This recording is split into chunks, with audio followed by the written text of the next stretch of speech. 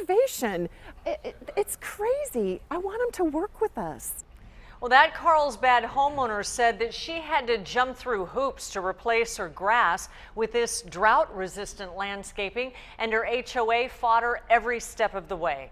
10 News reporter Preston Phillips is in Carlsbad with what a local lawmaker says that homeowners should do if that happens to them. This is what Tracy Buck's yard looked like about a year ago, nice and green. Then she let it die. This is a picture of it here.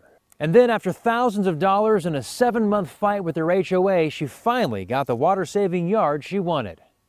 Aggravation.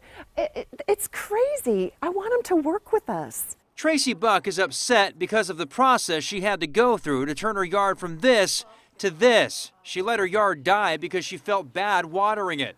The process began with a $250 HOA fee and amounted to more than $10,000 and a months long hard fought fight with her homeowners association. It's very adversarial. They don't want to work with you. It's their way.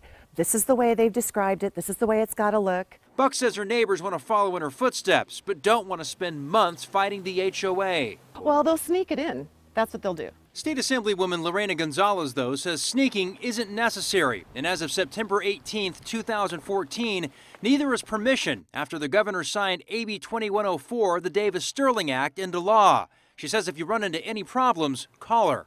I would actually encourage homeowners to go ahead and do it. The HOA has no legal standing to fine them or to um, to hold them in contempt of any way. I want my $250 back.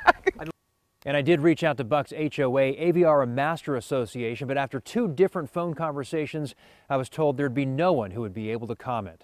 For now, we're reporting from Carlsbad, Preston Phillips, 10 News. And her yard looks great.